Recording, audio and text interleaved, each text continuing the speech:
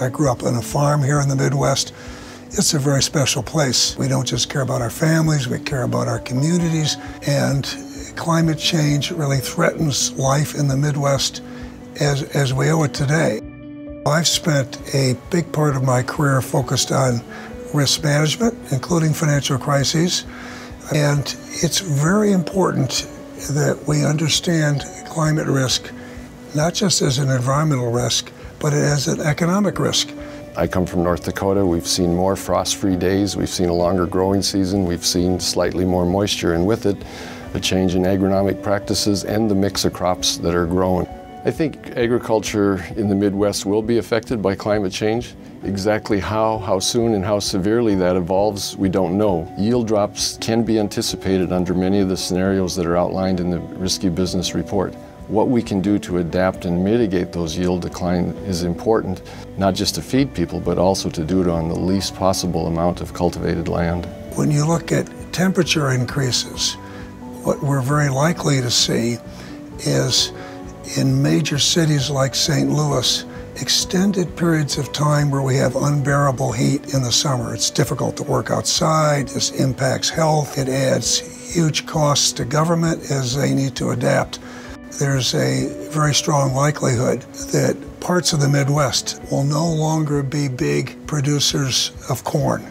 I'm not just talking about missing one year, having one bad crop year.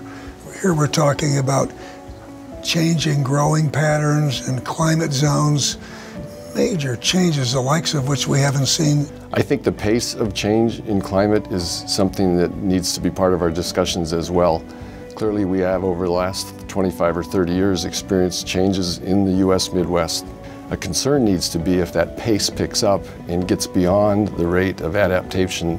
Business as usual doesn't work. It poses a threat to the way of life as we know it in the Midwest today. And so it's very important that large businesses, small businesses, really all businesses manage climate risk as they would manage any other risk.